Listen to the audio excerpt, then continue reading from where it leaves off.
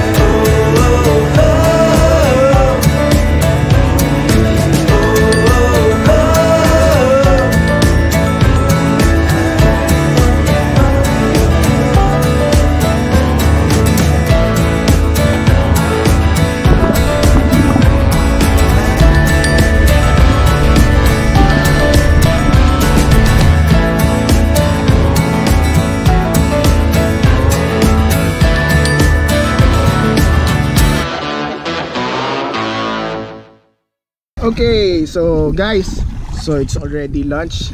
Mag-uumpisa na tayong mag-set up for our uh, outdoor recipe. So nandito tayo ngayon sa isang side ng Anilaw. Dito tayo magluluto for now. Okay, let's go!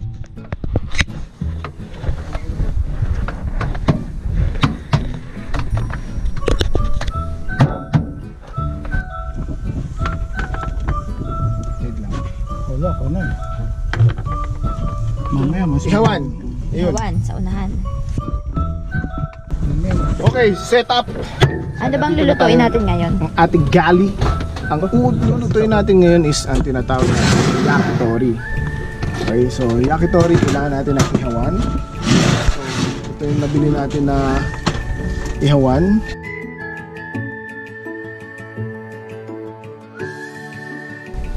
Okay, so first, sige, ipe-prepare na natin yung ating ihawan. So ito yung uling.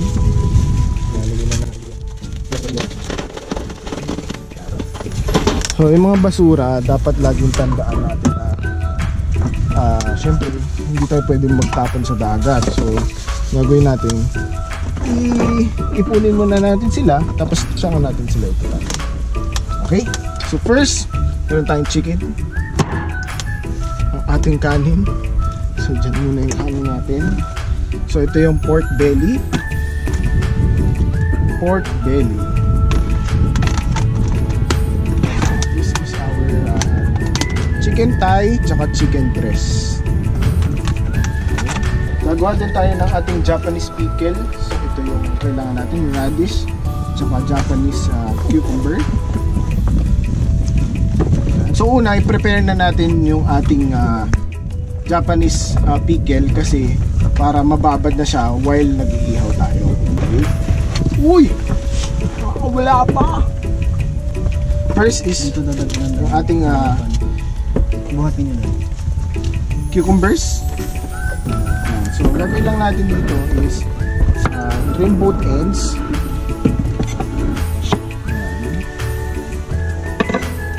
And okay, so chop na natin yung ating cucumber. Cucumber.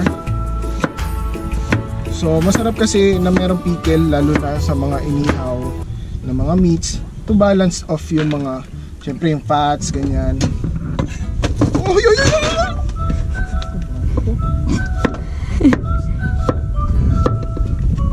So next, dadag, lalagyan din natin cucumber, sasamahan din natin siya ng radish.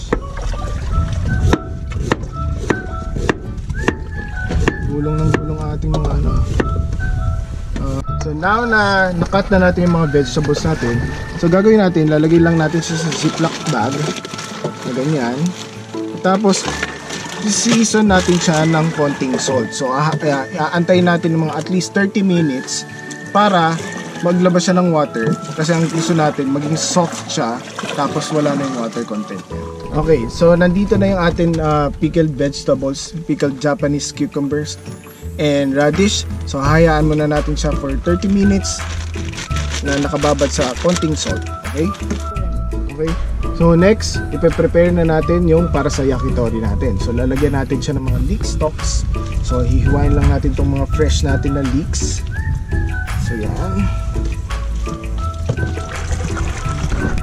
So ang gagawin lang natin is at least about mga 2 inches to 3 inches lang ang size para maganda siyang tignan kasama ng ating mga meats. So trim lang natin yung ends. So 2 to 3 inches at least mga ganyan size. So para saan to? Tutuhog din natin siya kasama ng ating mga meats. So next, prepare na natin yung mga meats natin for skewers. Ayan. So same lang din, at least mga 2 to 3 inches din yung size niya. Ayan. So isipin nyo, dito kami sa gitna ng dagat. Ng anilaw.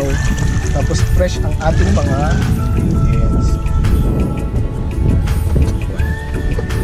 Fresh ingredients. So, ang pwede natin gawin is unahin natin yung leeks. So like that. Yung pananggaw. yan tapos yung pork belly. Lalayuin natin.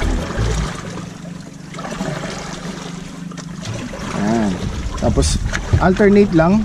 Pwede natin lagyan siya ng leeks ulit. Tapos pork belly strip ulit. Okay? As simple as like that. So again itong barbecue ng ah, Japanese na to is wala tong kahit anong marinade na gumawa tayo ng yakitori sauce para yun ang magpapalasa sa kanya. So ito yon.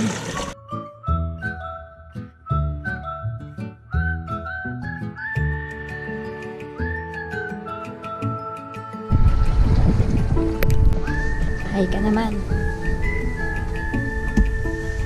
Okay, so ito na yung ating pork belly. Yan. Ready for cooking. Next, we have our chicken din. So, itong chicken, same lang din ng procedure. Lalo, tutuhugin din natin siya with our leeks, tapos with chicken. So, at least, meron tayong variety na meron tayong chicken, meron tayong So, masarap din ng ah, chicken yakitori. At the same time, masarap din na meron din tayong pork belly yakitori. Okay? Okay. Lilipat kami ng pwesto kasi mabilis kaming mapunta kami tumama sa mga corals. While si Kevin nagtutuhog ng chicken yakitori. Ayos ba? Woo! Guys, sa totoo lang medyo mahirap din talaga ito ginagawa namin. Mahirap talaga ito ginagawa namin. Enjoy ka naman? Well, yeah. Siyempre enjoy tayo. Lalo na masarap ang food natin.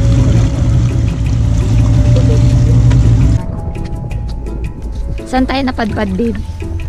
ah, nandito na tayo sa batong buhangin.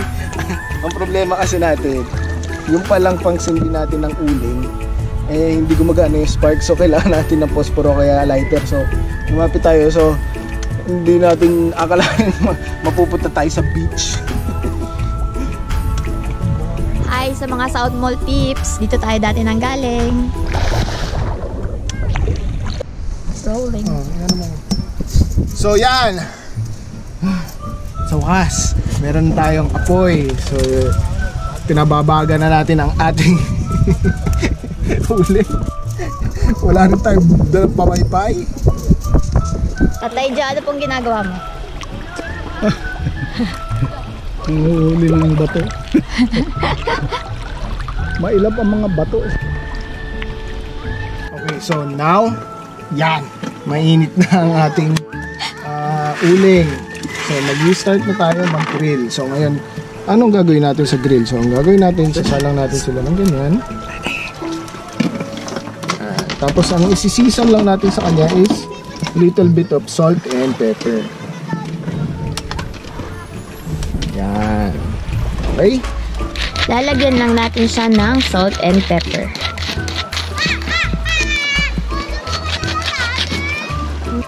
Grill! Grill!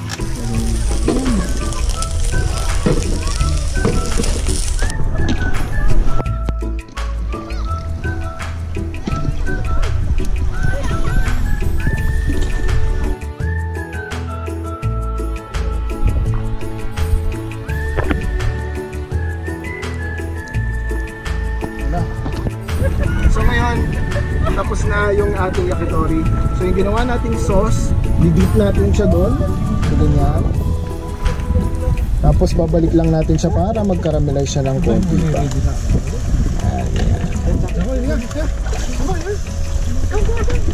Ayan. Yakitori sauce. Sauce. Grilling.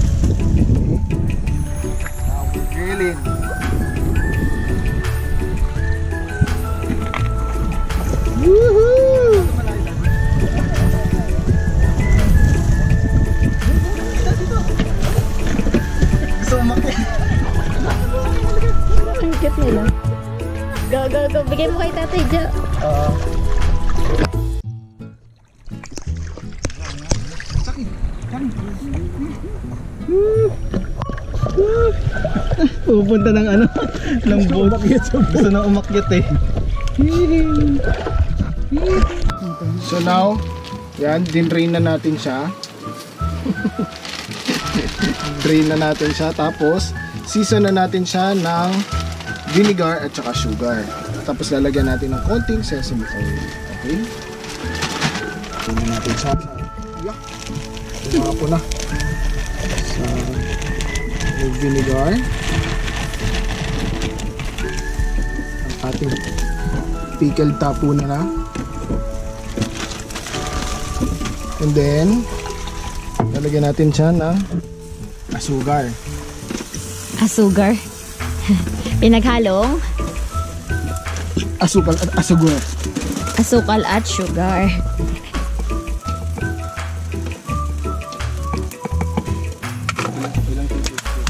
About mga 2 tablespoon. Tapos at least 1 tablespoon of sesame oil. Yan. okay, tapos give it a shake.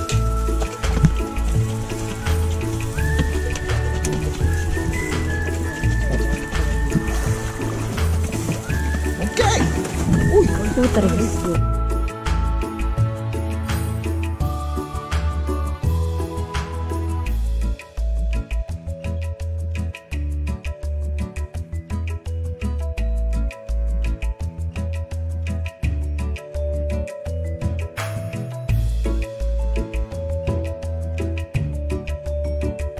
Okay, so ito ang ating lunch. We have the pickled Japanese uh, cucumber and radish, yakitori, so it's either chicken or pork, and we have our rice. Okay?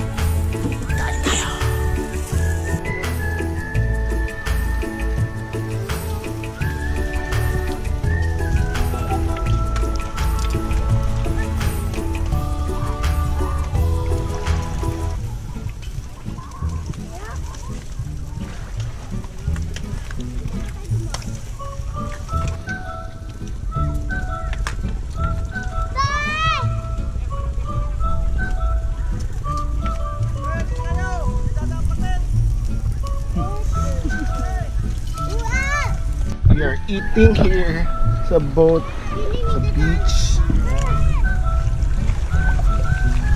Yakitori on the beach. Kamal.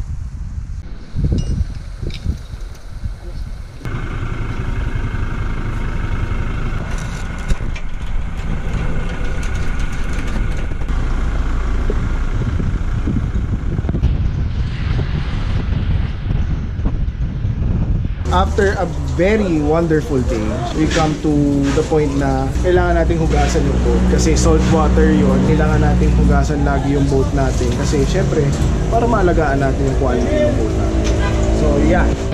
Uskos! Pagkatapos nyo mag-swimming, uskos! Yan, nakikita nyo katulad nito. Yan, may mga salt. Actually, masaya mag-boating, pero syempre nakakapagod din talaga. Okay? So, tara, linis tayo.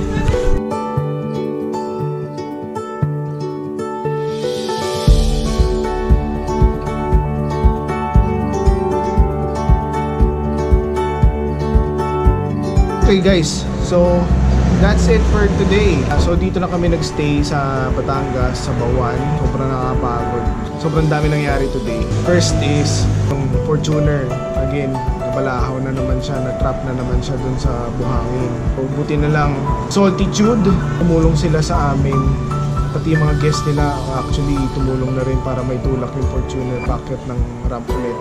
Tapos next nangyari is unfortunately GoPro namin na isa Nalaglag sa water. Ko naman nang ni-risk na mag-dive in kasi nasa malalim na kami masyado. So, almost Malakas din yung 200 current. 200 uh, meters below na yung lalim ng tubig nun. So yun, nalaglag na lang ng tuluyan yung GoPro namin. Very sad pero wala eh. Sabi nga namin, instead na i-risk mo yung buhay mo, i-risk mo na lang yung GoPro. Kasi yung GoPro napapalitan eh, ang buhay hindi, di ba? Marami pang adjustments kasi alam naman natin lahat na this is my first time din boating. And we are enjoying naman. Masaya din naman. Kaya lang Actually- yun nga, maraming challenges pa rin ngayon na kailangan namin matutunan and everything. Try nga sila mag-fishing, walang nahuli. So, nangyari sa amin ngayon, nag-dinner kami, bumili lang kami tilapia. okay, and that's it for this episode. Ah, sayang hindi rin ako nakapag-drone shots kasi natakot na siya. Baka Med- malaglag din sa tubig. medyo natakot na rin ako baka pati drone mawala na rin sa akin. Nakakatakot din minsan na, na minsan ninervous ka na lang talaga. Pero anyway, that's life. Kailangan natin continue Always boat learn life. from everything. Yes, boat life is boat life. Ganyan talaga ang pagbo-boat. Don't forget to subscribe. Please subscribe para mas support nyo pa yung mga kailangan naming mga challenges na marating. Of course, syempre, it's a better way para mag-grow namin itong community ng boating industry sa Pilipinas na to. Magkasama-sama tayong lahat. Lahat tayo magbo-boat. Lahat tayo mag-enjoy. Cook some good Like, food. In a way, actually sa pagbo-boat, masarap kasi Ah. pwede kang pumunta kahit saan mo gusto. Tayo napunta ng dive and trek kasi nga maraming challenges again. And, and that's another destination for next episode. So, again, subscribe. Like. See you again. Good night, everyone. See you.